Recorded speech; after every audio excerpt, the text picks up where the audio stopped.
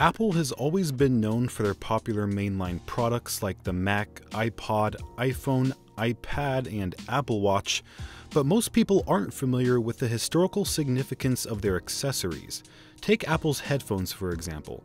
They began as one of the many bundled items with the original iPod, but quickly became an iconic symbol that everyone associated with Apple. And today, the company dominates the headphone market with their wildly popular AirPods. So in this video, we're going to explore the history of Apple's headphones and discover how they went from being a bundled iPod accessory to becoming one of Apple's most popular best-selling products. This is Greg with Apple Explained, and I want to thank ESR for sponsoring this video. If you want to help decide which topics I cover, make sure you're subscribed, and voting polls like this one will show up in your mobile activity feed. Now, let's start at the very beginning, from the first time Apple created their own pair of headphones back in 2001 for the original iPod. Back then, the headphone market was very different from today. Earbuds weren't nearly as popular, and there wasn't much variety when it came to headphone colors and styles.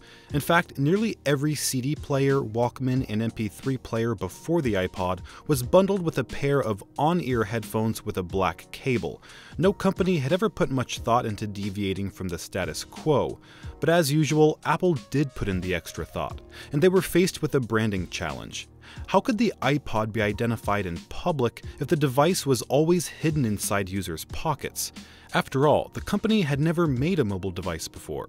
They had a history of selling desktop computers and notebooks, which always had an Apple logo on full display while in use.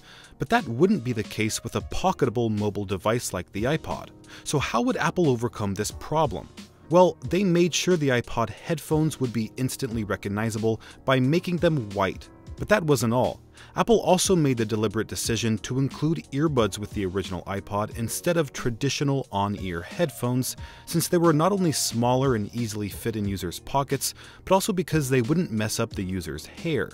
And to make sure people associated white earbuds with the iPod, Apple launched this iconic ad campaign which literally highlighted the white earbuds, cable, and iPod against a black silhouette. These efforts from Apple to differentiate the iPod from other MP3 players on the market paid off big time. The product quickly became a household name and reached an even greater level of popularity with the iPod mini in 2004. Now, you might assume that since the iPod mini was offered in colors, its headphones would also come in colors to match, but that wasn't the case. Apple continued to include the same white pair of earbuds in order to capitalize on the brand association they'd established with the original iPod. But what the company did do is decide to offer a premium pair of headphones that could be purchased separately for $40. They were called the iPod in-ear headphones and featured three different sized plastic ear tips along with improved sound quality and bass response. This was the first time Apple sold a pair of headphones independent from the iPod and marked the company's entrance into the headphone market. Now, Apple going into the headphone business also created opportunities for third party accessory companies.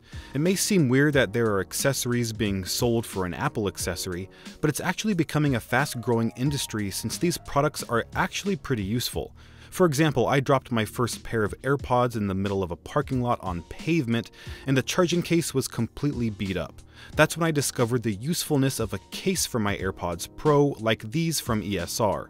They're actually really affordable and prevent my charging case from getting scratched in my pocket by my keys or from being dropped. Plus, the material has a much better grip than the AirPods Pro glossy plastic, so they don't slip out of my pocket. The cases are thin, so they don't add much bulk, and they still allow for wireless charging to work. So if you're interested in buying one of these cases to protect your $250 AirPods Pro, just click the link in the description and use the code AppleEXP10 by February 29th for an extra 10% off. Alright, now in 2007, Apple completely revamped the design of their bundled headphones, integrating the stem and speaker cone more seamlessly and elongating the rubber strain relief to reduce fraying. Now, considering the new earbuds would be included with the iPhone, many features were added in order to be more phone friendly. For example, Apple included an inline remote and microphone so iPhone users could control music, calls, presentations, video playback, and activate Siri without reaching into their pocket. Now, with the release of the iPhone, many thought Apple might take the opportunity to include black headphones for the first time, especially considering the iPhone was only offered in black compared to the original white iPod. But black Apple headphones never happened, with the company sticking to the same white branding strategy as they always had. Now, in 2008, Apple introduced a new version of their premium in ear headphones. They featured an inline remote and microphone, new silicone ear tips instead of plastic, and adopted a dual driver speaker design, with a woofer and tweeter integrated in each earbud for what Apple called superior acoustic accuracy, balance, and clarity. They were sold for double the amount of the previous model at $80. The next small change that Apple made to their signature earbuds came two years later in 2009, with the release of the iPhone 3GS.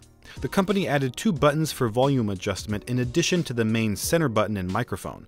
Now, I should mention that these earbuds were not only bundled with the iPhone 3GS, 4, 4S, and 3rd gen iPod Touch, but they were also sold separately, which had only been the case for Apple's more expensive in ear headphones. Now, at this point, Apple's headphone sales were modest. People might buy a pair to replace their old frayed iPod headphones, or maybe if you were a big Apple fan, you might opt for their $80 in ear headphones, but either way, Apple wasn't considered a major player in the headphone market. That space was occupied by the likes of Sony, Sennheiser, Bose, and others. But beginning in 2012, that all started to change, and it's thanks to the introduction of the EarPods. You see, Apple never put much engineering effort in trying to make their bundled headphones sound and fit as good as they possibly could. And that's why there were always complaints about the iPod headphones sounding thin and tinny, while also causing discomfort after long periods of use.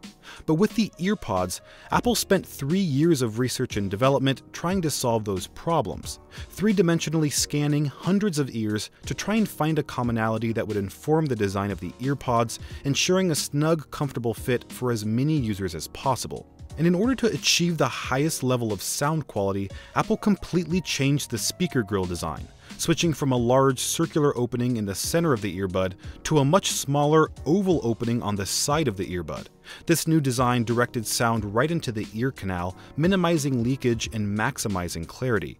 Apple also included small openings on each earbud in order to tune mid-range frequencies, provide a consistent listening experience, reduce air pressure, and deliver powerful bass.